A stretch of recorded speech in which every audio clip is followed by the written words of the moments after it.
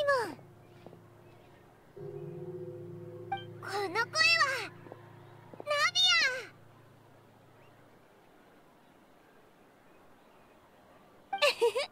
アまさかこんなとこで会えるなんてね今日はどんな予定なの？そっちはどうなんだ？今もポアソン町再建のために忙しくしてるのか？再建の方はもうほとんど終わってるんだけどまだちょっと仕事が残っててね。だから最近はずっとポア村長とこっちを行ったり来たりしてるの。必要な材料を注文したり工事のスケジュールを確認したり保証条件について被災者と話し合ったり。そうね。フォンテーヌ邸から被災者への救済金は支払われたけどポア村長の管理者としてスピナディロースらも責任を担うべきだと思って。まだ私たちも懐が寂しいから保証については書面で約束して後から給付する形にしかできないけどそれでもとにかく態度で示さないとスピナディロースらを信頼してもらえなくなっちゃうでしょ？さすがボス。責任感が強いな。でもそしたらめちゃくちゃ忙しいんじゃないのか？そうなんだよね。毎回街に来るたびやることだらけでさ。しょっちゅう何かを忘れちゃうの。だから今回はこっちに来る前にマルシラックに習ってやることをメモってきたんだ。そしたらやるべきことがすぐわかるでしょ。それでマルシラックは省略して書いてたから私も自分なりの省略法を作ってみたんだけどさ。街であれこれしてる間に何が何だかわからなくなっちゃった。ナビアらしいな。一体どんな風に書いたんだ？ん？見てみる？どれどれ？おい！文字が全然ないじゃないか！これは木の棒の海藻巻きでこっちは豚の箱詰めか？違う違う。こっちは前回出荷した漁獲の報酬残金を確認することでこっちは街で新しく出たバーガーを食べに行くってことよ。そんなのどう考えたってわかんないぞアドバイスあんがと。まあ一回ミスったからもう大丈夫なはず。どんなに省略しても書いた本人ならわかるでしょって思ってたんだけど。そうじゃなかったみたいね。おうまあ次からはミスらないだろう。とにかくほとんどの用事は済ませたの。まだ23個わからない記号が残ってるけど多分そこまで重要なことじゃないと思うから。帰って思い出したらまた来ればいいや。じゃあ今からポア村長に戻るのか？うん。あそうだ。ちょうど再建の話もしてたしあんたたちも見に来ない？どうせ別に予定はないんでしょ？船だからサクッと行けるよ。別にいいけどちょっと急だな。お前はどう思う？それじゃあ行きましょう。船着き場へ。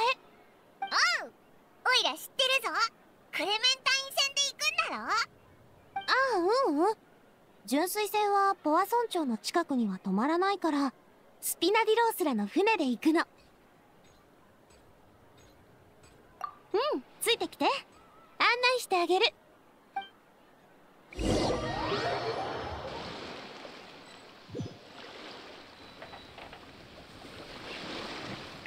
今エンジニアが定期点検をやってるとこ。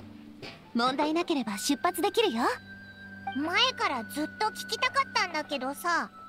純粋船の3つのコースって全部お前の家族の名前がついてるよな。そうよカーレスとナビアは言うまでもないよね。クレメンタインはママの名前なの。お前んちのものならなんでポア村長に泊まるコースがないんだ？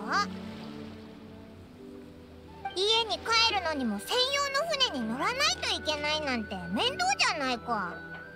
それについてはスピナディロースらは商売でポア村長を通らないからわざわざそっちにポートを作る必要がなかったんだって前に聞いたけど。それにしてもちょっとおかしいよね。そんなに大規模な工事をしたんだからポアソン町行きの線を作ったってよかったじゃないって思うし。だよな。だってあんなに便利なんだぞ。でも現状はこうなんだよね。パパが何を考えてたのかたまによくわからなくなるよ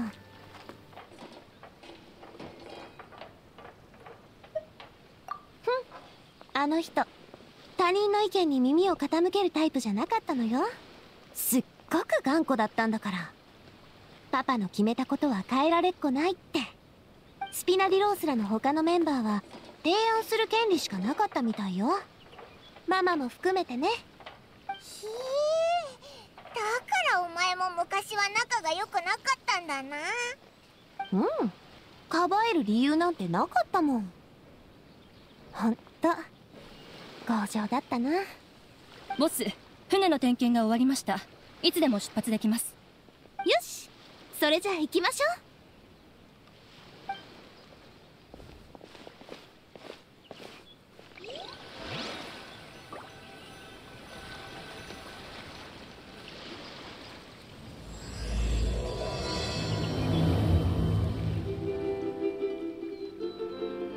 着くまでしばらくかかるからおしゃべりを続けましょう。そういやお前のママはどんな人だったんだ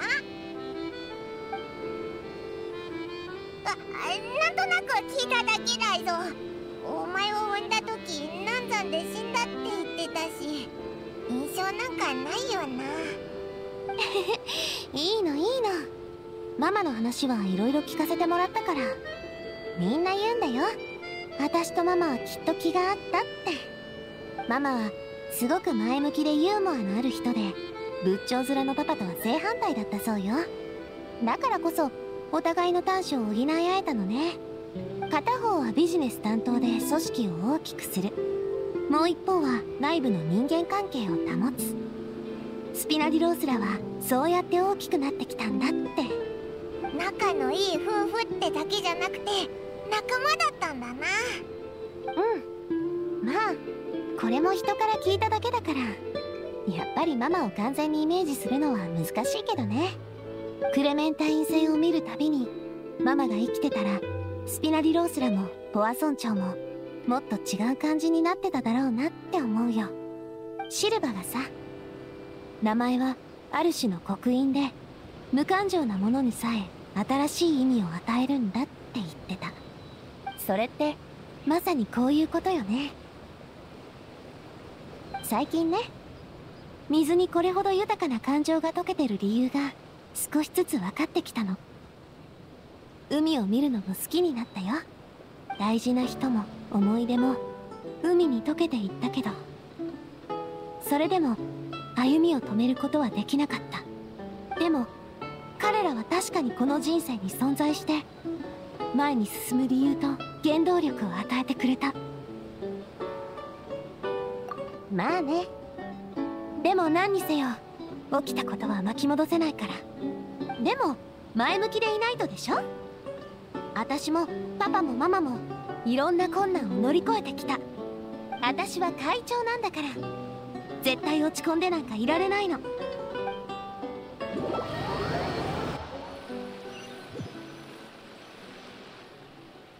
あ着いたよ。今のポアソン町を案内してあげるね。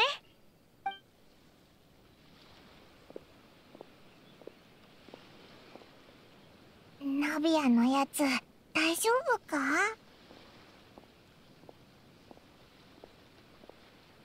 そっか。あれだけ大変な目にあったのに本当によくやってるよな。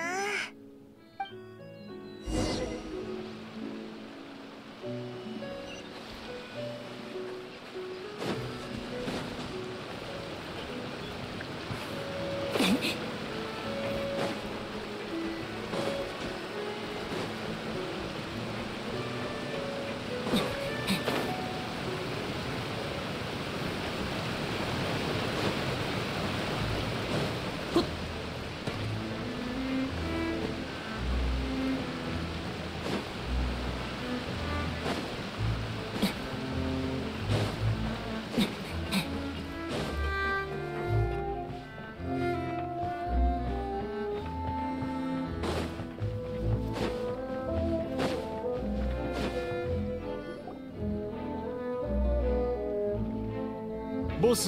お帰りなさい。旅人さんにパイモンさんまたポワ村長に来てくださったのですね。歓迎しますよ。久しぶりだなフローレント今はお前がナビアの面倒を見てるのか？面倒だなんて。別に一人でちゃんとやっていけるよ。付き添いはしばらくいらないの。まあ前までマルシラックが担当してた仕事の一部は確かにフローレントが引き継いでくれてるけどね手伝ってくれる人がいるとすごく助かるよ。お褒めに預かり光栄です。ご覧の通り最近はボスを手伝いコア村長再建のために動いてます。マルシラックさんは本当に有能な人でスピナディロースラではとても尊敬されてました。私なんかまだまだですよ。はいはい。他人行儀な挨拶はそこまでにして気を使うような間柄でもないでしょ？私のことを待ってたみたいだけどもしかして彫像の件で何か進展があった？そうなのです。先ほど職人に連絡したのですが彫像の造形がまだ決まっていないので先方も素材のサイズを決められないようで。彫像？うん。実は私たちパパとママがスピナディロースラとポア村長のために貢献してくれたことを記念して彫像を作りたいなって思ってるの。パパはこないだまでずっと不義のカーレスなんてお名を着せられてたから。罪人のために彫像を作るってなると論争につながりかねなかった。でも今はそんなお名も注いだしポア村長もちょうど再建中だから最高のタイミングだと思うの。彫像の制作資金はカーレスさんとクレメンタインさんへの感謝を込めて町の人たちが寄付してくださったんです。私？私はただの現会長だもん。メンバーには毎日迷惑ばっかりかけてるしね。自分の彫像が欲しかったら少なくともあと数十年は努力しなくちゃダメでしょ？謙虚すぎるぞお前だってフォンテーヌを危機から救った仲間だろ？ええ私もボスの彫像があってもいいと思います。それ以上褒められたら本気にしちゃうよ。なんてね。そこまで厚かましくないって。少なくともパパと肩を並べられるくらいになるまで待っててよ。ありがとう。まだ心の準備がねフローレント。とにかく今は彫像のデザインをしなくちゃいけない。そうでしょ？ええ。カーレスさんとクレメンタインさんのポーズが決まらないことには職人も素材を用意できませんからね。ただポーズについてまだしっかり検討したことがなかったのでまずは私がいくつか選出してまいります。ボスには案をご覧いただき。そんなのいいいい。今この場で決めちゃいましょう。ほらついてきて。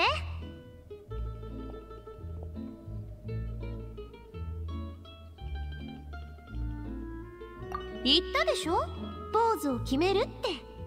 あんたがカーレスで私がクレメンタインね。さあ。それはちょっと。パイモンもさっき船で言ってたでしょ？カーレスとクレメンタインは仲のいい仲間だったって私と旅人だって最高の相棒じゃない。フローレント写真を撮ってちょうだい。かしこまりましたボス。写真機を撮ってきます。ね何かいい案ない？実はこの前もフローレントとちょっと話してたんだけどどれもなんか普通だなって思って。多分私の中で2人のイメージが凝り固まっちゃってるのかも。だからあんたの想像力を借りて新しい案が生み出せないかと思って。準備ができましたよ。いつでも始めていただいて構いません。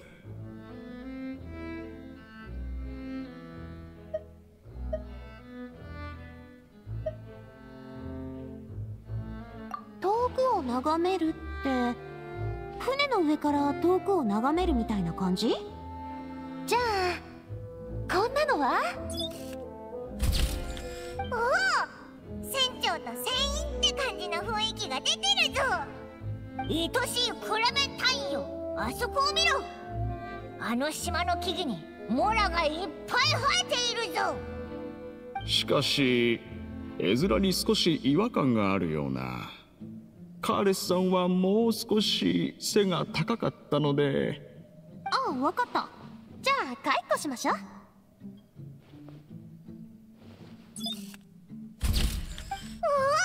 おなかなかいいんじゃないか。この彫像は船に置くのにぴったしだと思うぜ。えー、違う違う。彫像は街中に置くの。船に置いたらあんまり見れる人がいないでしょ？街に置くとなるとこのポーズの表現したいものは伝わりにくくなってしまいますね。じゃあもうちょっと考えようぜ。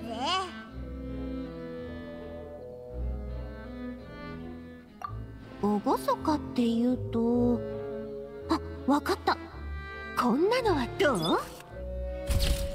スピナディロースラが最も輝いていた頃を思い出させてくれるポーズですね。でもなんかクレメンタインのポーズがちょっと豪快すぎないか？そういう感じのやつじゃなかったんだろ？これじゃこの人こそがスピナディロースラの裏のボスなんじゃって疑われちゃいそうだぜ。確かに。以前どこかの古新聞がそのような記事を出していましたがその後何かしらの方法で記者ごと消されましたね。ええたただの例え話だ。おいらは聞いたくないぞフローレントの言った一件は記者にペンネームを変えてもらっただけよ。でもこのポーズは確かに2人のイメージをうまく表せてないかも。他の案をもうちょっと考えてみましょう。楽しそうなポーズ？えー、っとジョークを聞いた時に取る反応みたいな感じ？写真を撮るタイミングがいまいちつかみにくいですね。これじゃあなんで笑ってるのか全然わからないんじゃないか？ええ彫刻する難易度もかなり高そうですしね。一人がジョークを言ってもう一人が笑うってのはどうだ？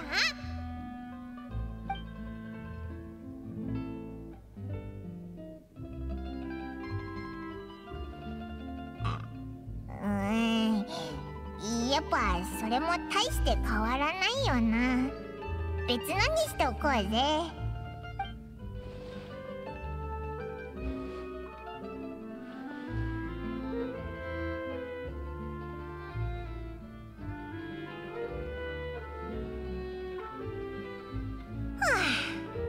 いくつかやってみたけどどれもなんか微妙だったな。おいらもう思いつかないぞ。気にしないで。写真に残したし少なくともいい記念になったよ。今のポーズは予備案にさせてもらうね。ああ。旅人と一緒に写真を撮るって分かってたら衣装や小道具を揃えておいたのにな。あ衣装といえば街でやらなきゃいけないこと思い出した。アデルってこのことを覚えてる？覚覚えてるぜ。カーレスの事件を調査してた時に会った女の子だよな。そうそうその子。あの後ねやっと話してくれるようになってスピナディロースラに入りたいって言ってくれたんだ。私はもちろんいいよって答えた。でも子供は入れてあげられないから大人になってからねって言ったらあの子にごまかしてるって思われちゃった。それでどうすれば信じてもらえるか考えていいことを思いついたの。スピナディロースラの制服を作ってあげるのよ。でも結局街でドタバタしてる間に衣装のことをすっかり忘れちゃってた。はあ割と大事なことだったのに。ご心配なくボス。今すぐ人を手配して取りに行かせます。醸造の方ももっと案が必要ね。そっちもお願い。初めっからこうすればよかったじゃないか。まあそれもそうか。記念って意味ではよかったよな。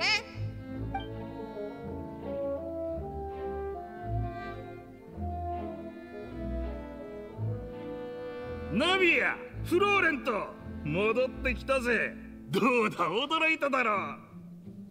え君は？ゴールタメロピデ要塞から戻ってきたの？ああやっとな。俺は自分が思ってたよりもずっとしぶとかったみたいだぜ。出てすぐこっちに向かってきたんだ。大げさじゃなく町から魚の匂いが漂ってくるのが分かったなどんだけメリッサの焼いた魚が恋しかったかわかるか？あっちじゃ毎日恋焦がれてたぜ。戻ってこれてよかった。相変わらず元気だな。えっとそいつは？紹介するよ。彼もスピナディロースラのメンバーでコルタっていうの。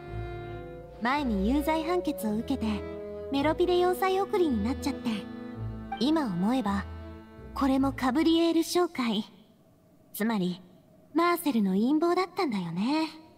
お？待て待て。マーセルさんが何だって？原始大会の水事件をまだ知らないのかい？フォンテーヌの水位が上がってなぜかまた下がったっつうことは知ってるがそれだけだと思ってたから詳細はまだ。まさかマーセルさんと何か関係があったのか？最初から説明してあげた方がいいみたいね。事件の間ポワソン町でもいろんなことが起こってしまったの。まずはこっちの2人を紹介するね。この2人は私と一緒に数えきれないくらいの困難を乗り越えてくれた最高の相棒でスピナディロースらが熱い信頼を寄せてる助っ人よ。おうよろしくな。俺の知ってる限りじゃナビアがこんな風に誰かを褒めたことなんてないぜ。お前らやるな。ひひ確かにオイラたちがすごいのは事実だけどナビアに会う前からずーっとすごかったんだぞ。あら私も誇りに思ってるのに。あんたって相変わらず謙虚ね。愉快愉快。スピナディロースラは面白いやつにはこと書かねえな。そうだマルシラックとシルバーはあいつらいつもそばにくっついてたじゃねえか。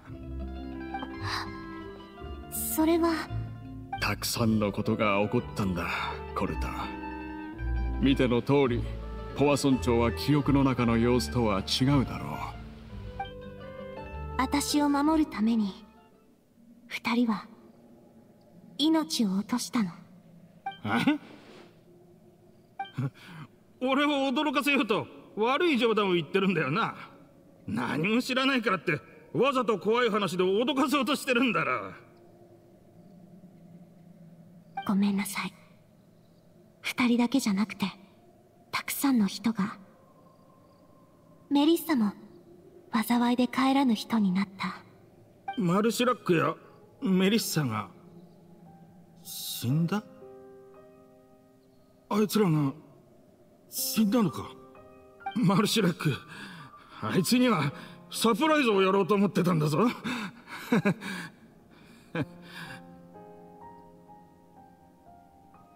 その元気出せよ。コルターはマルシラックさんとは長年の親友だったんです。会の設立当初から様々な任務を共に遂行してきたのだから無理もない。その場所を変えましょう何があったか一から教えるから。ちょっと重い話になっちゃうけどね。わ分かった。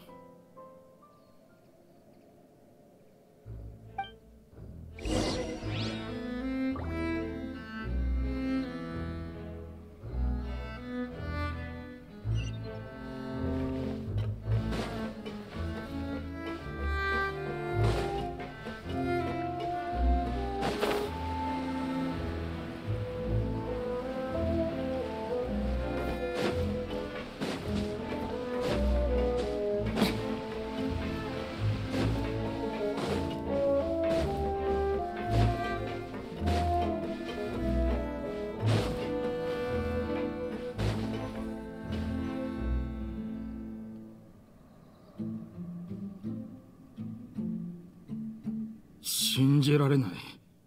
そんなことが全部実際に起きたことだってのか世の中どうかしてるぜ。私もマルシラックの死がすごく悲しいよ。マーセルの血も涙もない所業だって憎かった。てっきりマーセルさんは永遠にスピナディロースラの味方だとばかり。だってあの人の全てはうちの会が与えたようなもんだったじゃねえか。なのにまさかお前の命まで狙ってその狂った研究に使おうとしてたなんてな。安心してくれ。すでにカブリエル商会は解散したしロシも根こそぎにされた。長く続いた茶番はようやく終幕を迎えたんだ。本当か？マーセルがずっと裏切るつもりだったんならきっと裏でロームーフとも接触してたと思うぜ。ロムーフって誰だ？私も聞いたことない名前だけど。フローレントなら知ってるはずだ。あの頃純水線を建設するにあたってスピナディロースラン内部では大きな分裂があったんだ。あの頃ロムーフを筆頭とするメンバーの一部は純水線のレール工事に財力を費やすより町の整備を優先するべきだと考えてたでもカーレスさんは政府やフォンテーヌ科学院と協力できる機会は得難いもので各方面との関係をより強固なものにするチャンスだと言った。純水線はスピナディロースラに商業的な収益だけじゃなく民衆からの名声ももたらしてくれるものだから長い目で見てこの工事はかなり割のいいものだってな。だが結局双方の意見は一致しなかった。ロムーフは一部の奴らを連れてスピナディロースラを離れカーレスさんを敵視するようになった。パパらしいわね。想像できるわ。結局その強固になった関係性はあの方が冤罪を被った時何の役にも立ちませんでしたけどね。ああまそれがボスの独断専行の代償だったんだろうな。おいらも気になるぞ。そんなに気が強かったんならカーレスはよくスピナディロースラのやつと喧嘩になったんじゃないか？ああ日常茶飯事だったさ。でもなナビア。いや今はお前をボスって呼ぶべきか。カーレスさんはずっとそんな風なわけじゃなかった昔は俺たちの助言にも耳を傾けてたんだ。それにクレメンタインさんも俺たちの味方だったから大抵は穏やかに進んでた。でも純粋戦の件についてはクレメンタインさんも完全にカーレスさんと同意見だったんだ。そうだったの。でも私はロムーフたちの主張にも利がなかったとは言えないと思う。ちゃんと話し合うことはできなかったの？多分長年の恨みなのでしょうこの一件についてロムーフたちはうがった見方をしてました。彼らはクレメンタインさんは妊娠してから中立的な立場を失ったのだと考えていたのですよ。それで裏切られたと感じたってこと？それって明らかに違うでしょ。ママは別に仲裁するためにいたわけじゃないでしょうしママにだって立場を表明する権利があったはずよ。ああ。でもあいつらの目には裏切りとして映った。そうして調停者を失ったことでスピナディロースラに希望を見出せなくなったんだ。その後クレメンタインさんが亡くなったことでカーレスさんは純水線の建設を彼女の意思だと考えた。それでさらに相談の余地はなくなっちまった。なるほどな。ロムーフの勢力はその後スピナディロースらとの決別を宣言しましたそれから幾度かうちと衝突がありましたが彼らの中には過去の情など一切見えませんでした。きっと彼らの目に私たちはとっくに敵として映っていたのでしょう。ただ今のところは彼らがマーセルと通じ合っていたという証拠はありません。ああそれにあいつらの組織の運営状況は芳しくなくてもうずっと停滞状態だって聞いたな。だがまあ解散してない限りは相変わらず脅威だってのは確かさコルターの心配にも一理あるねそのロムーフって人もマーセルもずっとパパのことを目の敵にしてたわけでしょマーセルの勢力はもう潰されたけど、ロムーフたちの動向は今もわからないままなんだよね。スピナディロースラを憎んでいるんだったら、ポア村長が弱ってる今は、動くには絶好のチャンスね。うん。確かに彼らを監視下に置くべきですね。今すぐ手配してきます。うん、お願いね。コルターも、情報ありがとう。大したことじゃない。礼には及ばないぜ。ところでボス今から時間はあるか。気分転換に付き合ってくれないかと思ってさ。いろいろ聞いて未だに心が落ち着かないんだこんなに突然別れが来るなんて。本当に。それじゃあ、一緒に街を回る？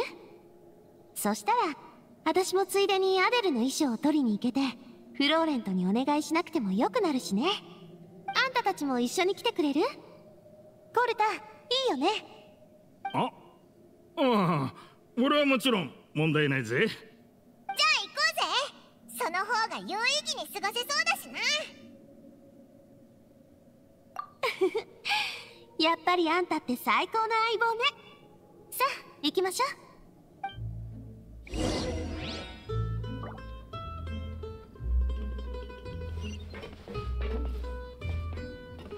く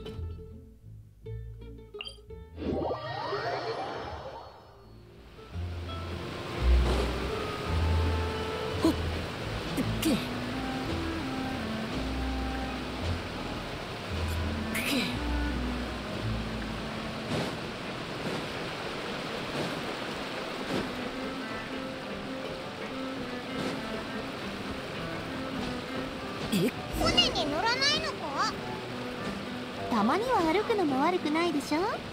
小旅行だと思ってさ。向こうに着いたら数日泊まってから帰ってもいいね。俺も久しくこの道を歩いてなかったな。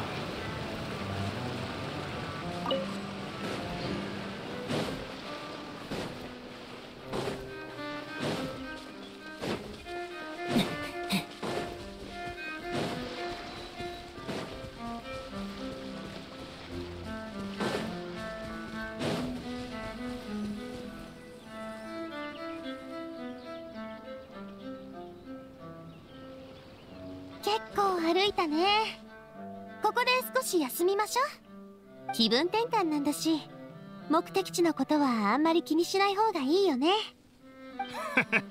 俺もいい年だからか。やっぱ昔のようにはいかないな。ま幸いメロピデ要塞にいた頃は作業のおかげで体を鍛えられたが。お前結構すごいと思うぞ。うんだってオイラたちについてこれたんだからな。純水船がなかった頃は貨物を持ったまま北へ行ってそこから船に乗ってフォンテーヌ邸まで行く必要があったんだ。この道をマルシラックと幾度歩いたか。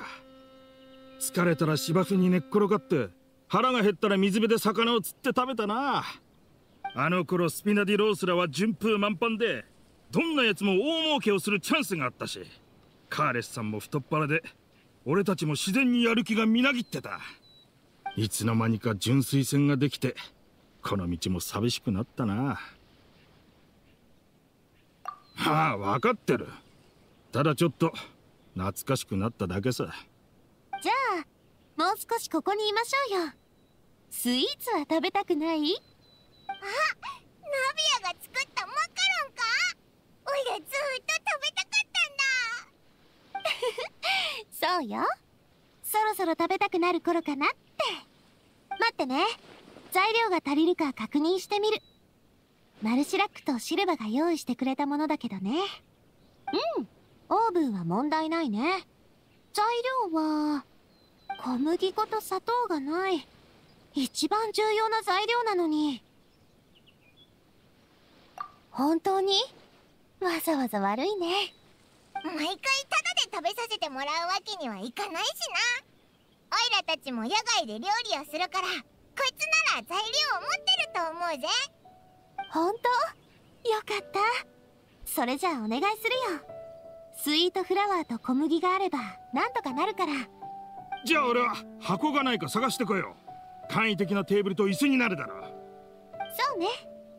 じゃあ私はオーブンの用意を。これで役割分担はバッチリね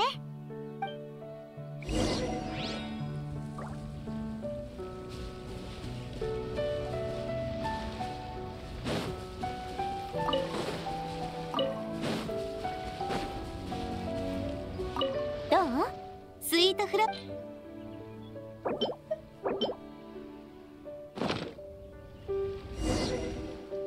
いい感じ。あとは私に任せてちょうだい。お前の料理の腕は相変わらずだな。見た目も味も最高のマカロンだぜ。ボスの菓子作りの腕は昔からスピナディロースラでも評判でな。才能があるのは周知の事実だ。ただの趣味よ。褒められるほどのものじゃないって。そういえばお前らはボスから深く信頼されてるしいつもボスのそばにいるみたいだがスピナディロースラに入る気はないのか。あからさますぎたか。向いてると思うんだがな。一緒にいたのはたまたまよ私も長い間二人には会ってなかったんだから。冒険者はずっと同じ場所にとどまることはない。スピナディロースラの肩書きなんて旅人たちには束縛になっちゃうよ。それに私たちはたくさんの冒険を一緒に経験してきたんだもん。たとえ離れ離れになっても心はつながってるわ。たとえ遠くにいたってオイラはこのマカロンのことを忘れないぜ。なるほど。二人に会えたのはすごい縁だったってわけか。そんじゃ俺もこの出会いをもっと大切にしないとな。それじゃ水で乾杯しましょう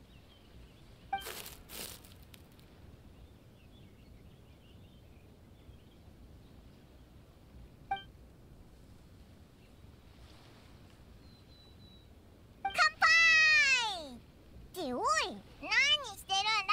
ほら乾杯するぞ。あんたたちの旅が順調にいくこと。スピナディロースラが発展すること。私たちの友情が永遠に続くことを祈って。片付け終わり？じゃ進みましょう。アデルの未来の制服は町の知り合いに頼んであるの。取りに行かなくちゃ。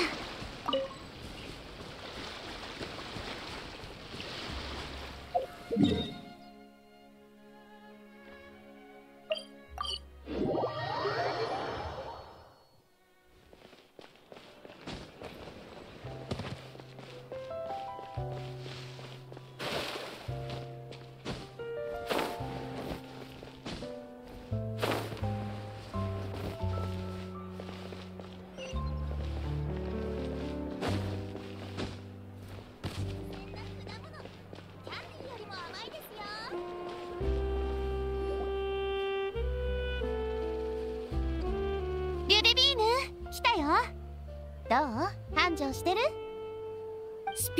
スラのお嬢様が来てくれなくちゃ。このしょぼいお店はすぐおしまいですよ。お前はコネも手段もたっぷり持ってるだろうが。そんな冗談誰も信じないぞ。でもってこの人はもうボスだぜ。あら失礼しました。つい癖で。今日は完成品を取りにいらしたんですか？そうなの。さっきもフォンテーヌ邸に来てたんだけど忘れちゃってたからまあこんな些細なこと部下に任せても全然問題ないでしょうに。お嬢様が直々に来てくださるなんて。ナビアはいつも大げさだからな。大げさなんかじゃないよ。気分転換だって旅の重要な目的なんだから。新しい旅ほど癒されることはないでしょ？ボスの言う通りだ少なくとも一人で落ち込むよりずっといい。少々お待ちくださいね。今すぐ取ってまいりますので。そういえばアデルはなんでスピナディ思ったんだ？具体的な理由はうまく言えなかったんだけどね。ただ私のことが好きだからって。あの一件の後だいぶ明るくなったんだよ。多分お父さんが期待を裏切るような人じゃなかったってことがやっと分かったからかしら。あの子ね。私のパパが怖かったからスピナディロースラはみんな怖い人ばかりなんだと思ってたって言ってた。でも今のスピナディロースラの雰囲気は変わったでしょ。それでやっと私と話す勇気が出て自分のことを分かってもらえるって思えるようになったみたい。うん。そうかもね。私は真相を探る中であの子を助けることになった。アデルも他の人が手を差し伸べてくるのをただじっと待ってるんじゃなくて私みたいに自分から他の人を助けたいって言ってたよ。優秀なスピナディロースラのメンバーになれそうだな。私もそう思う。でもまずはあの子が健康に成長できる環境を作らないとね。選択は大きくなったあの子自身に託すことにする。あ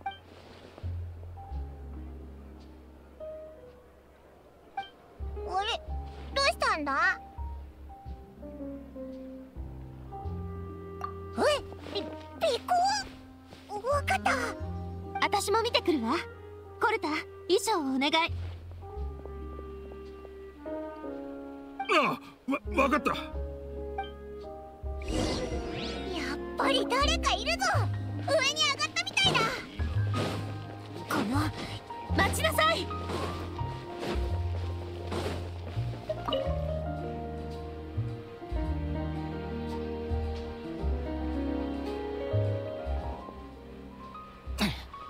面倒な奴らだな。まともな喋り方ができるようにちょっとしつけてあげないといけないかしら？野郎ども回りくどいのはなしだ。やっちまえ！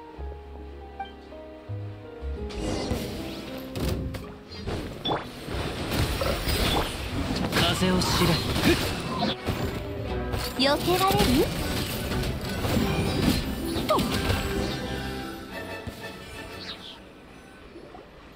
おとなしく白状なさい。あんたらは何者でどうして私たちの後をつけてたの黙っ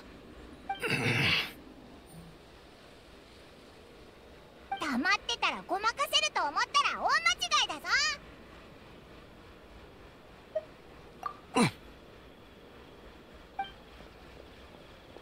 ボスどうだった怪我はないか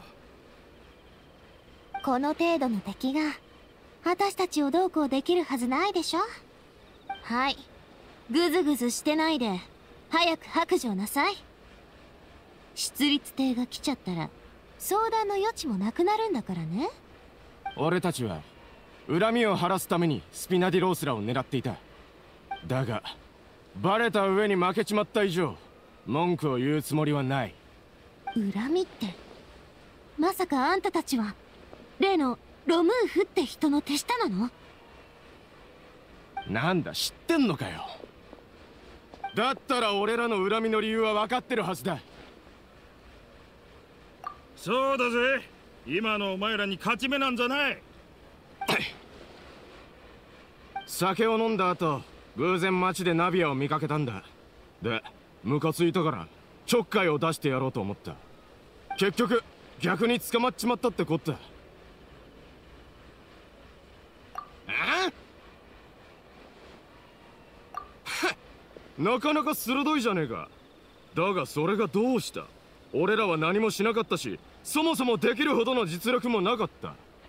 ただあんたらのことが気に食わなくて血迷っただけさ。聞いて。カーレスは死んだ。スピナディロースラとの間で過去に何があったとしてもこれからのことは新しい始まりにしたいの。私はスピナディロースラの現会長よ。たたちのボスがもし何か文句があるって言うなら直接話をしに来てよ。今回の一件についてはとやかく言わないでおく。これも私の心の表明よ。ああ悪いな。今の言葉ボスに伝えとく。でも今後も似たようなことをしようとしたらううん？似たようなことを考えでもしたら今度こそ絶対に見逃したりしないから。分かった？分かった分かった。おい行くぞ。見逃して本当にいいのか？ナパパが残した対立関係を丸ごと受け継ぐつもりなんかないもん。それに純粋戦のことについてもパパのやり方が完全に正しかったとは思ってない相手に座ってお話ししてくれる気があるなら私も喜んでテーブルに着くよ。いろんなことの新しい1ページを刻む時だと思うから。俺もボスのやり方に賛成だ。暴力をもって暴力を制すなんてのはかなり原始的なやり方だしスピナディローセラの哲学って観点から見ても美的センスが皆無だからな。うん。最近は向こうの状況も芳しくないから大した騒ぎは起こせないはずってコルタンも言ってたしね。今はまさに面と向かって話し合ってみる絶好のチャンスなのかも。でもやっぱりロムーフの動向には気をつけといた方が良さそうね。もしこっちの警告を無視されちゃったらやっぱり最後には戦闘になっちゃうと思うから。そうだな。あいつらだいぶスピナディロースラのことを嫌ってたみたいだもんな。そんなことにならなければいいんだがな。縁が切れたと言っても昔は家族同然だったんだ。そうね。あんたの言う通り。とにかくひとまず解決ってことでしばらく厄介なことは考えないでおきましょう。さて今日はもう遅いしサーンドル川で一晩休んで明日戻ろっか後でフローレントに手紙を届けるよう手配しとくよ。今日の出来事を伝えてポア村長周辺に危険や不審者が迫ってないか注意してもらわなくちゃ。またサンドル川に泊まるのか？あそこって枕から水草の匂いがするんだよな。仕方ないでしょ？日差しも入ってこない水辺なんだから。まポア村長も似たようなものだし私はとっくに慣れてるけど夜になったら店で焼き魚を食べながら飲み物を飲んで船歌を聴けるっていうのもそれはそれでいいと思わない？確かに。おいら心を動かされちゃったぜ。早く行こう。おいらも一緒に歌いたい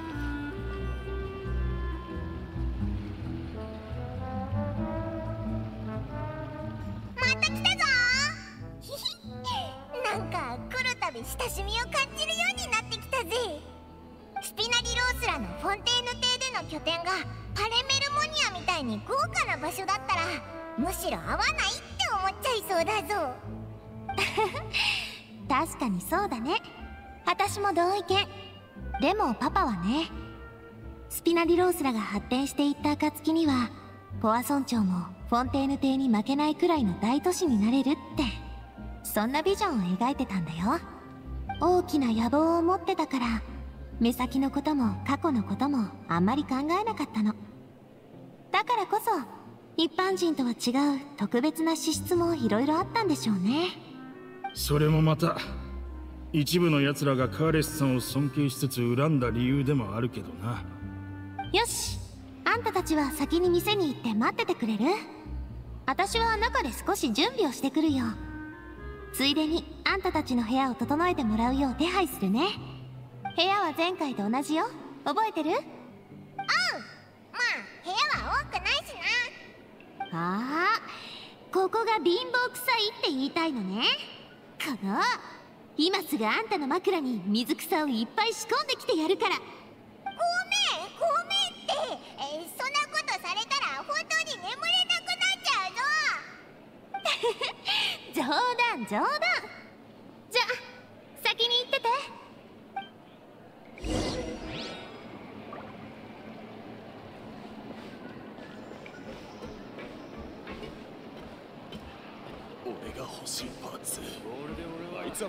まだ入荷できてないのか。直接言ってくれ。何でも解決してやる。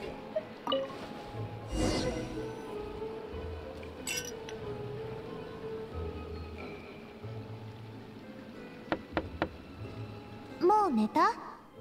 まだ起きてるよね？ううん。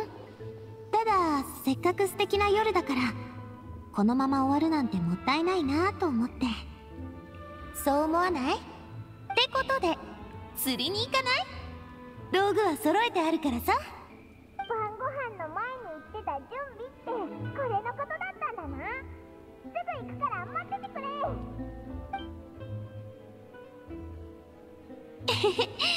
邪魔しちゃった？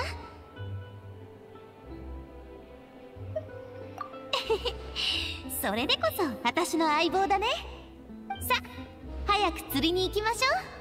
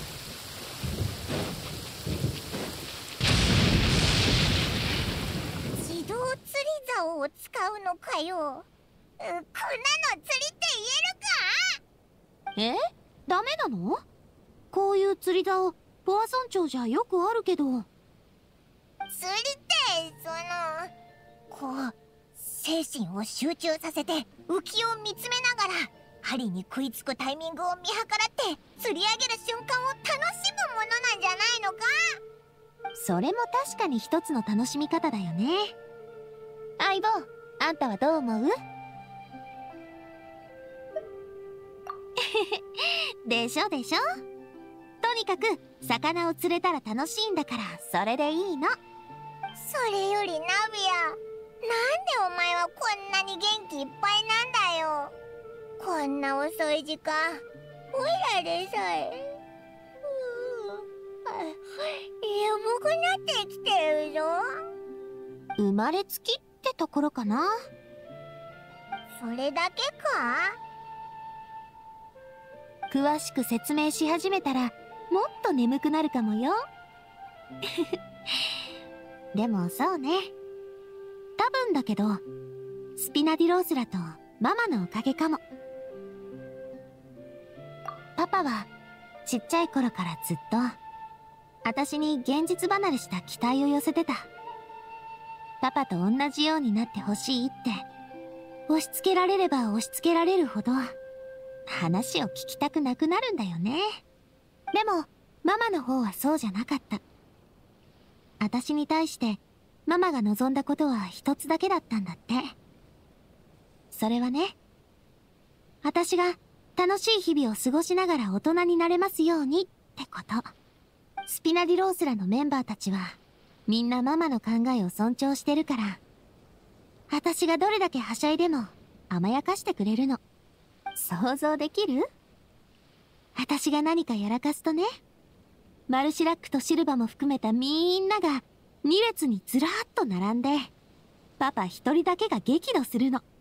でもみんな黙りこくって何にも言わないでしょ？そしたらだんだん大した問題でもないことにずっと怒ってるパパの度量が小さく見えてくるの。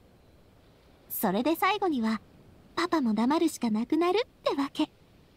そんなこともあったのかよ。うん。思い返すとみんな本当に優しい人たちだったんだなって思うよ。小さい頃の私はやりたいことなら何でもやれるって思ってた。だって後始末をしてくれる人がいつもついててくれたんだからね。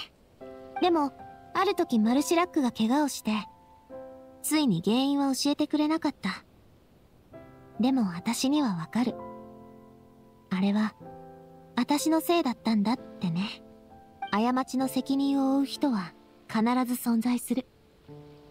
だから周りを大切にすればするほど過ちは犯せなくなるの。だって罰が下された時みんなは身を挺して代償を支払おうとしてくれるんだもん。ごめん。ごめんね。こんな話持ち出すべきじゃなかったよね。今夜は悲しい話をしに来たわけじゃないんだし。とにかくスピナディロースラが今みたいな雰囲気になったのは絶対にパパじゃなくてママのおかげだと思う。これってもしかするとママからの愛を感じるための唯一の方法かもね。私ねママの優しさを受け継いでいきたい。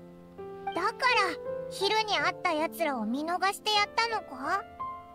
そうね過去の出来事から学んだ教訓ってやつかな。少なくとも独りよがりにはなりたくないの。あれ？見て浮きが動いてる。でもなんで釣り竿が糸を引いてくれないんだ？多分パーツの不具合じゃないかな。こんな釣り竿組み立てるの初めてだったから。逃がさないで。捕まえるのよ。早くおおいらもやるのか？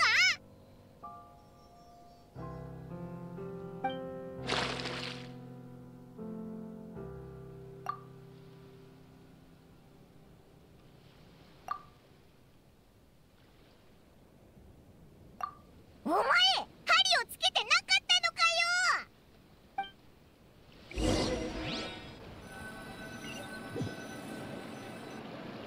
これ以上時間を無駄にできないぞ。ボスの忍耐にも限界がある。明日になったら即行動だ。あんたは勝手にすりゃいい。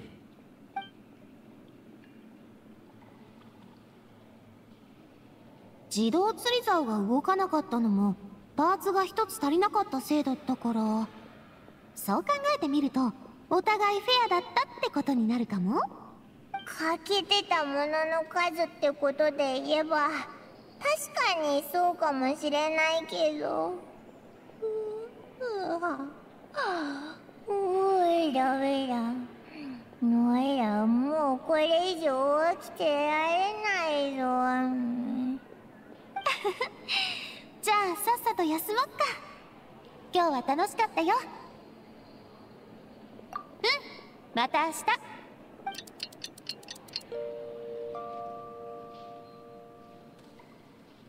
った？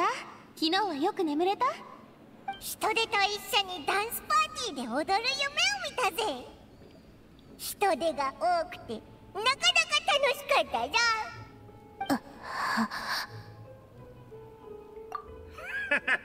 お前なかなかユーモアセンスがあるんだな。ほら面白いって思ってくれる人だっているぞ。さて行こっか。帰りは私が手配するから船でポワ村長まで帰りましょう。アデルもきっとあんたたちに会いたがってるはずよ。お前が用意したプレゼント気に入ってくれるといいな。喜んでくれたら何よりなんだけどね。ア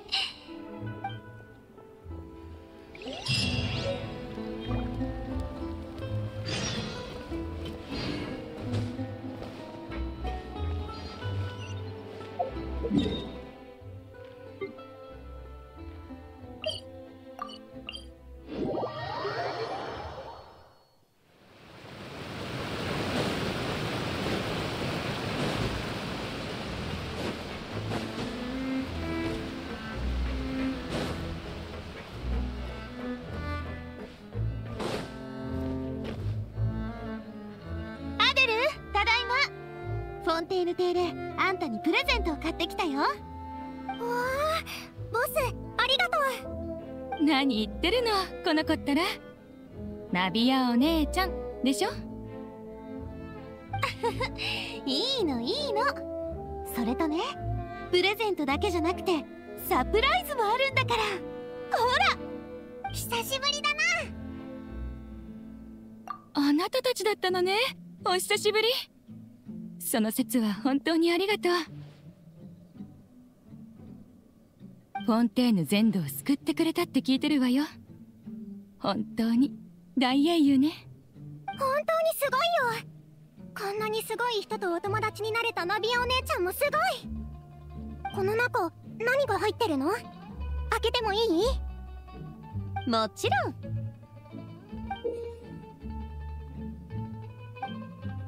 あ？これスピナディロースラの制服だ。私にくれるの？でもサイズが大きすぎて着れないよ。未来のあんたへのプレゼントだよ。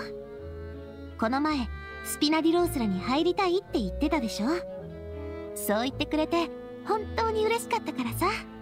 でもスピナディロースラはみんなの安全を守らなくちゃいけないから。メンバーはいろんな危ないことに出くわすことになる。あんたはまだ小さいしあんたのママにも心配はかけられない。だからこないだは大きくなったらまたおいでってことであんたを断ったの。でこの服はその約束の証よ。そうだったんだ。うんわかった。ナビアお姉ちゃんありがとう。頑張って早く大きくなるからね 大きくなることは頑張るものじゃないぜ。辛抱強く待つことだ。娘のことを気にかけてくれて本当にありがとう。スピナディロースラがいつも面倒を見てくれているおかげで私たち親子はかけがえのない人を亡くしてもなおぬくもりと安心感に包まれていられる。遠慮しないでよ。スピナディロースラに所属してるかどうかに関係なくポア村長にいる限りはみんな家族なんだからさ。ボス！フローレントどうしたの？大変です。ロムーフの仲間たちがボア村長の付近に集まってきています。爆弾を持ち運んでいるようで。爆弾？一体何をするつもりなの？かなり前から準備していたものと思われます。昨日ボスからの手紙を受け取って間もなくメンバーと共に調査に取り掛かりました。ですがロムーフたちも情報を得ていたようで全員がすでに拠点を撤退してしまっていました。後を追ってみたところまさかポア村長にたどり着くとは。もしかして昨日フォンテーヌ邸で衝突したせいで警戒させちゃったか？座ってお話ししてくれるつもりなんて相手には1ミリもないみたいだな。こうなると知ってれば全員を出立艇に引き渡してたのに。ごめん。私が甘かったみたいでも今さらうじうじ反省してたってしょうがないよね。フローレントそいつらは爆弾をどこに仕掛けたの？ポア村長の東側の丘にクレメンタイン線の近くです。まさかクレメンタイン線を爆破するつもり？その可能性が高いな。ロムーフの連中はスピナディロースラとパパを憎んでるしそもそも彼らの仲を引き裂いたのも純粋戦だったわけだもんね。クレメンタイン線を爆破なんてしたら無数の瓦礫が丘を転がってポア村長に降ってきちゃう。あいつらおかしいぞ。だってここには一般人だってまだたくさんいるんだろ。ええ。長い時間をかけて復讐の計画を立てていたならあいつらも今回のチャンスを見逃すわけにはいかないはず。今すぐ住民を避難させるのよ岩窟の入り口から離れて転がり落ちてくる岩に引かれないよう気をつけてって周知しないと。船の上に避難させましょう。あそこが一番安全なはずです。相棒クレメンタイン戦を任せていいかな？起爆を許せばポアソン町にいる人たちだけじゃなく運転中の純粋船だって巻き込まれちゃう。まずは奴らの強行を止めるのよ。その後でまとめてケリをつけてやるたちに任せろナビアお前たちも気をつけろよな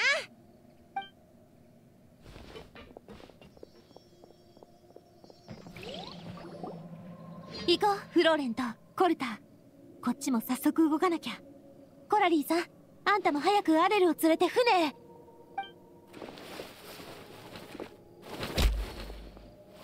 ボス危ない！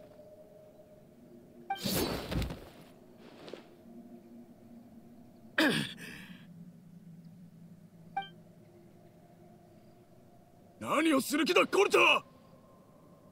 ち邪魔な奴がやっといなくなったと思ったら今度はお前に邪魔されるとはな。まさか誘導作戦コルタあんたもロムーフの一味だったわけ。そういうことだったのね。連中の企みをとっくに知ってたからこそ。わざと近頃の状況が芳しくないっていう偽の情報を吹き込んでこっちの警戒を緩めようとしたんでしょう。ちょっと正しくないところがあるな。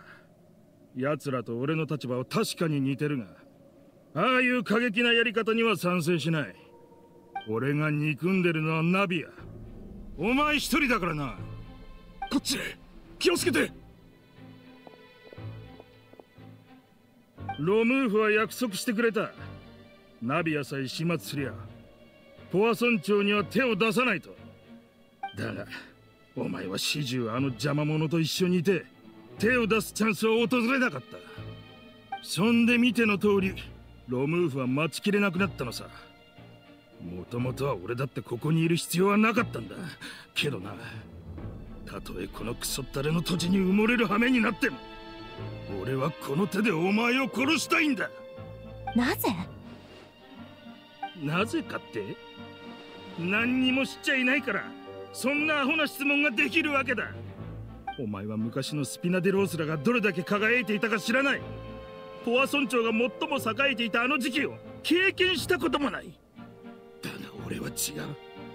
俺はこの目で見ていた。それなのに全てが消えていくのを黙って見ていることしかできなかった。全部貴様のせいだナビア。クレメンタインさんはお前のせいで死んだ。カーレスさんが死んだのもお前のせいだ。マルシラックとシルバもお前のせいで死んだんだ。それ以外にもあれだけの人間がお前のせいで死んだ。つまり何も知らないという風に振る舞っていたのも初めから私たちを騙すためだったわけだ。ああ。要塞から出た時点でマルシラックのやつが死んだってことは知ってたさ。お前らにこの気持ちがわかるか。あのクソみたいな水の下で俺は真剣に考えてたんだぜ。水の上に出れたらまずはマルシラックに謝りに行こうってな。昔純粋戦のことで大喧嘩したからな。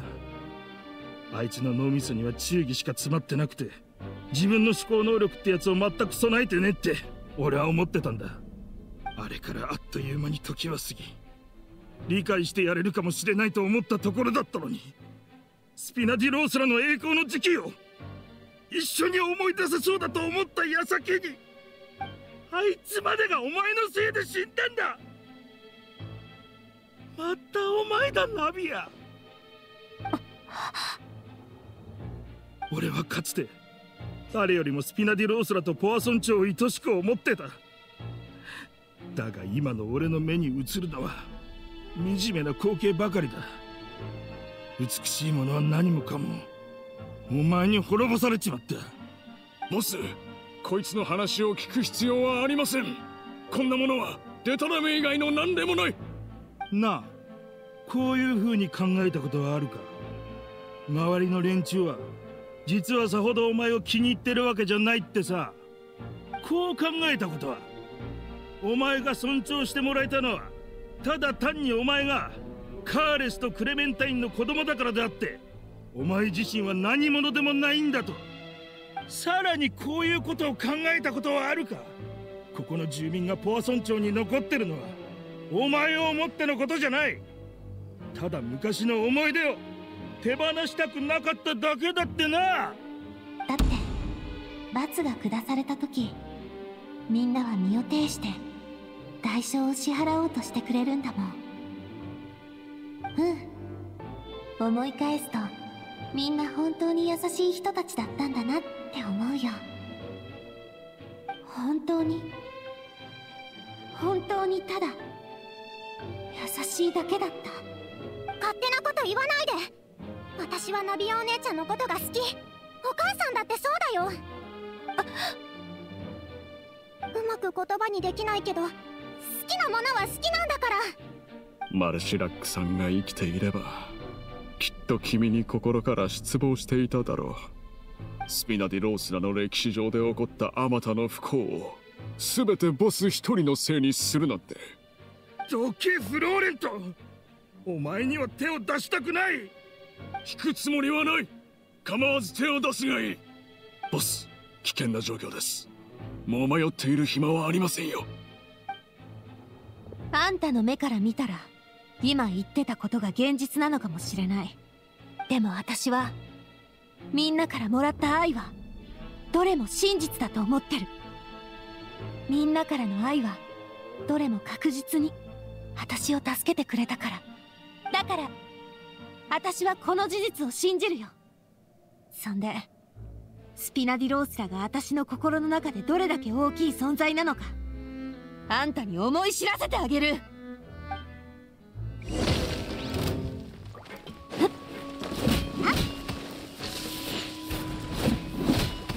これって散弾銃ほっ。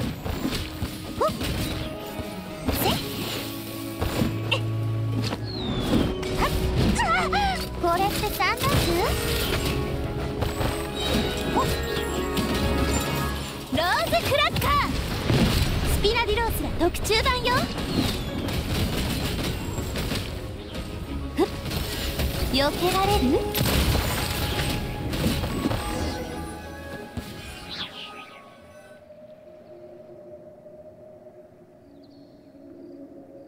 フローレントこっちは任せたよ。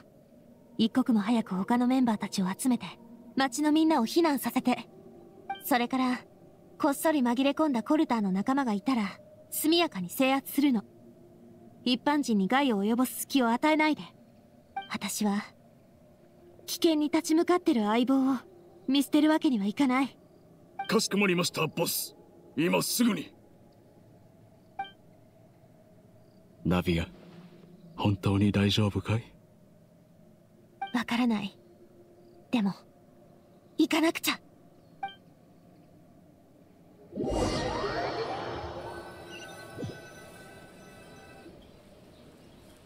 してもクレメンタイン戦を守らないとな。早く行こうぜ。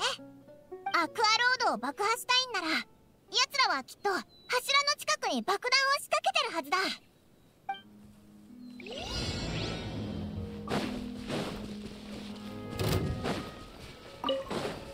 行け。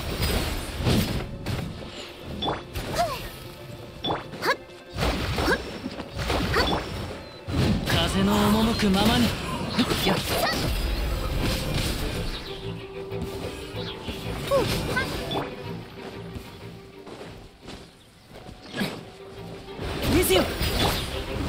風の行く先を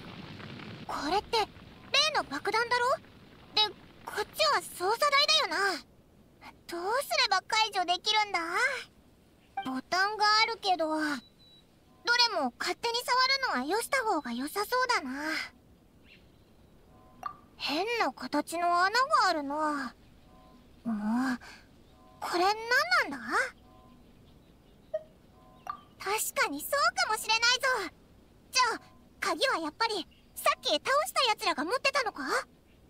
そういうことなら手分けして探そうぜ。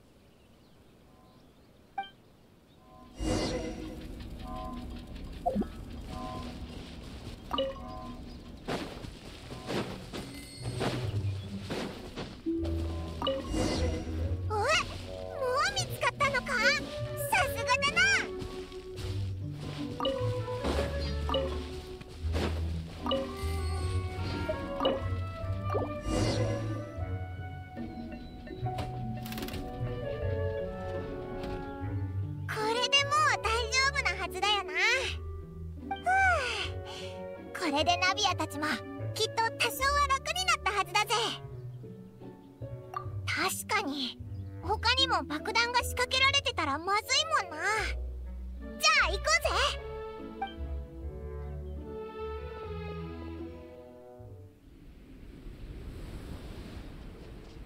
うぜ。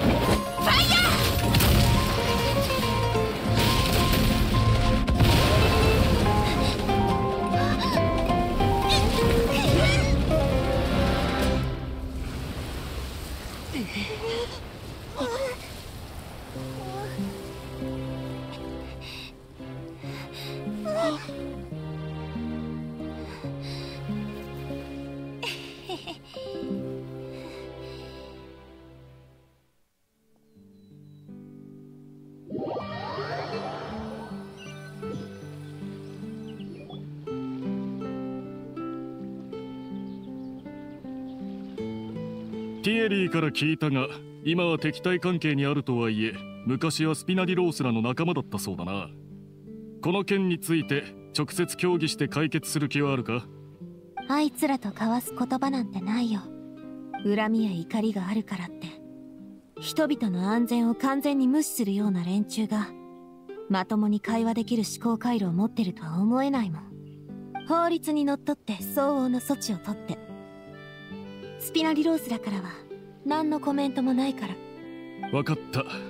この度のご協力に感謝する。おかげで甚大な被害が出ずに済んだ。さあ撤収だ。奴らを全員連行しろ。やったなナビア。オイラたち守り通せたんだ。お前本当にすごかったぜ。そうね。本当。間に合ってよかった元素力を使いすぎたせいかも。私は平気だから気にしないで。普段ならこういう風に褒めたら絶対にドヤ顔で返してくるはずだろ。いつものナビアと違ってなんか変な感じだぞ。ボスポアソン町に潜伏していた者たちも全て捕らえました。出立艇に連れて行ってもらいます今回ロムーフたちが総力を挙げてことに当たっていたおかげで一網打尽にすることができました。これからは頭を悩ませる必要はなくなるでしょう。そっか。そこは良かったね。コルタあんたの考え理解できないわけじゃない。失われたものは取り戻せないからこそ。より大切に見えるものよ。私はカーレスじゃないしこれからもカーレスになるつもりもない。あんたが愛するスピナディロースラとポア村長はもう二度と戻ってこないの。それでも私は考えを変えたりしない。これは最初からやり直すチャンスでもあるから。今後スピナディロースラは稼いだモラをポア村長の整備にもっとつぎ込むし私も純粋船の路線を変える方向で動いてみるつもり。いつかポア村長のみんなも純粋船の恩恵を受けられるようにね。言いたいことはわかる。カーレスさんなら決してこんな風に話はしなかっただろうな。だがどうにもならないことがありすぎる。お前も俺もだ。あんたはもうスピナディロースらの一員じゃなくなった。けどあんたが再び自由を手にした日にもう一度ポア村長に帰ってくる気になったらこっちは歓迎するよ。ありがとうナビア。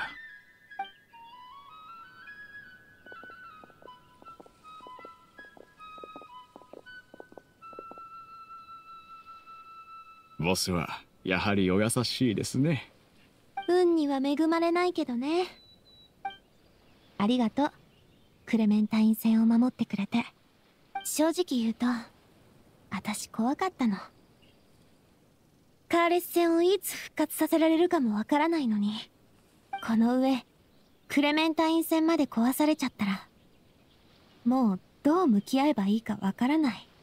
名前はある種の刻印なの。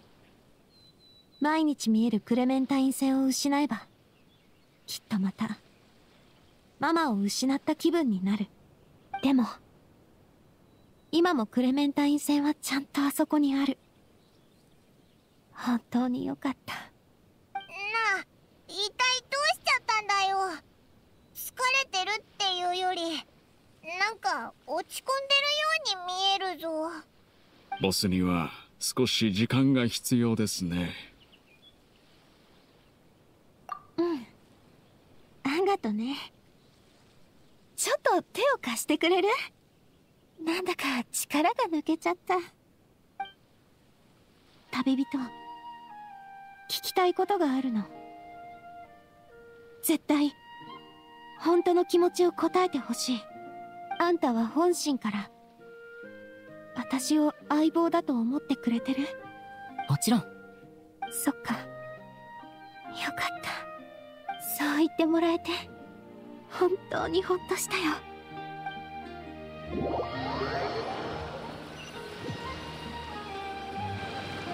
調子はどうだ？休んでちょっとは元気になったか？うんちょっとはマシになった。でも多分あと1日か2日くらいは欲しいかも。ごめんね相棒。さっきは変な話をしちゃったけど気にしないでね今までは私もそう思ってたよ。でも私って多分自分が思うほど強くないのかも。コルターがパパとママそれからマルシラックとシルバのことに触れたでしょ。まさにあの人たちのおかげで私は今まで生き抜いてきたんだ。あの人たちは後悔してないのかな。私がこうして生きてることで一体誰が幸せになれたんだろう？そんなこと考えるなよナビア。お前は十分よくやってるぞ。他のやつのことなんか知らない。けどオイラもこいつも永遠にお前の味方だからな。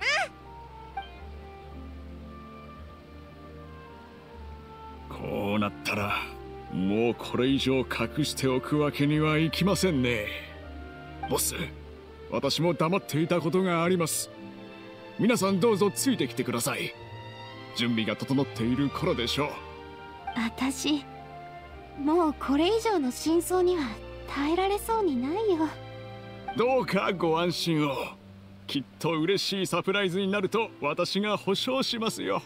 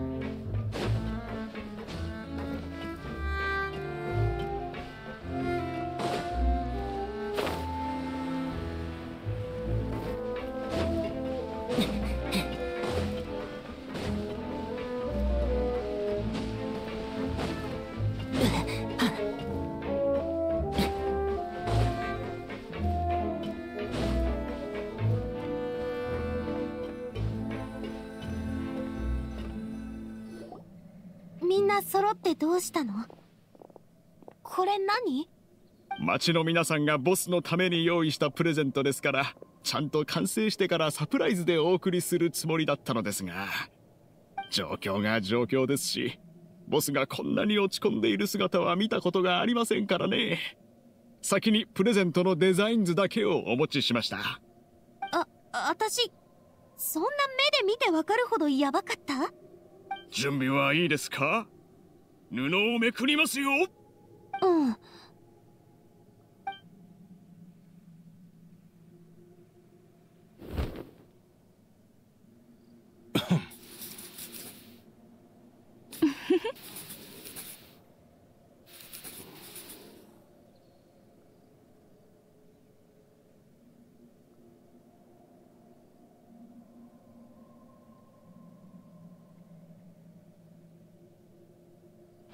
ここれってパパとママそれに私も？クレメンタインさんの姿は昔の写真や皆さんの印象を参考に描かれたものです。これってまさか前に言ってたあの彫像のやつじゃないか？ご明察実は彫像のデザイン案はとっくに決まっていてすでに制作していただいているところだったのです。ボスに悟られないようポーズ決定についてご相談した次第です。カーレスさんとクレメンタインさんだけじゃダメだろ？まだ若いのにロシのことといいポア村長再建のことといいボスの努力をわしらは全部分かっとるからな。彫像を立てるにふさわしいと思います。昔のことは知らないけど今のスピナディロースラがいいとこだってことは私にもわかるよナビアが言ってくれれば私たちも安心できるわ。皆さんがここに集まってくれたのはボスに伝えたいことがあるからです。私たちは過去の繁栄に夢を見たからではなくボスを信じているからこそここに残ったのですよ。オイラとこいつもそうだぞ。あんたたち本当にありがとう。みんなの好意無下にするわけにはいかないね。ほんととんでもないサプライズだよ。夢にも見なかった。ママの隣に立てる日が来るなんて。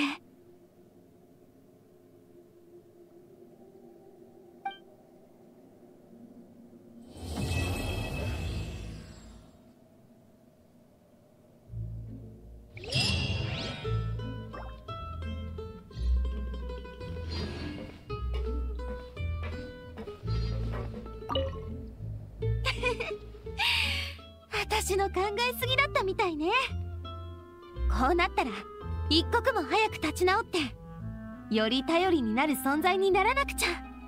思い返せば今日は恥ずかしいとこばっかり見せちゃったね。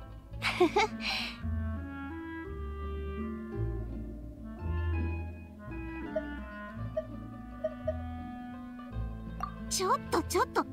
なんで急に私の真似なんかするわけ？ダメダメ。それ以上言わないで。本気で恥ずかしいんだから。さっさと忘れて。今すぐ忘れなさい。ああいやでも完全に忘れられたらちょっと困るかも。とにかく心の奥底にしまってもう二度と掘り返さないでちょうだい。